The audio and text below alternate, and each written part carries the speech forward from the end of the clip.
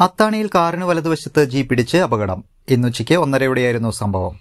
കൊടുങ്ങല്ലൂർ ഷൊർണൂർ സംസ്ഥാന പാതയിൽ മിനാലൂരിനും അത്താണി സെന്ററിനുമിടയിൽ പാതയോരത്ത് നിർത്തിയിട്ടിരുന്ന സ്വകാര്യ കാറിന്റെ ഡോർ തുറക്കുന്നതിനിടെ പുറകിൽ നിന്ന് കോഴിക്കോട് സ്വദേശികൾ സഞ്ചരിച്ചിരുന്ന താർ ജീപ്പ് ജീപ്പിടിച്ചതിനെ തുടർന്നാണ് അപകടം നടന്നത്.